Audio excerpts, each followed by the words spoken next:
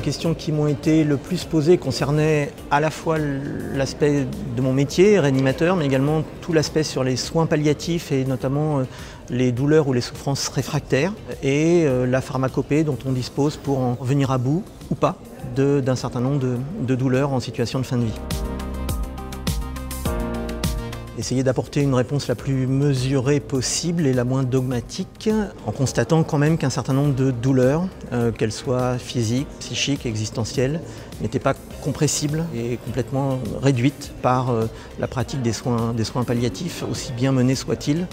certes dans un pourcentage très faible de cas, mais dans un pourcentage euh, qui existe. La sédation profonde et continue s'applique dans le cadre de maladies qui sont fatale, à court terme, irréversible. Il faut euh, que l'échéance du décès prévisible soit de l'ordre de quelques heures, jours, maximum 2 à 3 semaines, et que le patient soit demandeur euh, d'être endormi en même temps que calmé de ses douleurs. Dans ces cas-là, on introduit ou on majore des médicaments qui sont à la fois contre la souffrance psychique, des anxiolytiques,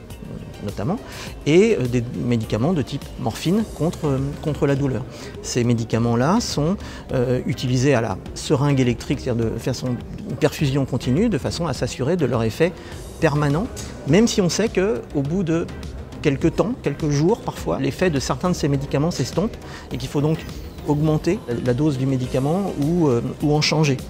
Mais euh, la, vraie question est à ce moment-là quelle, est la, pertinence réellement d'une sédation profonde et continue qui durerait des jours et des jours pour le patient, pour sa famille notamment.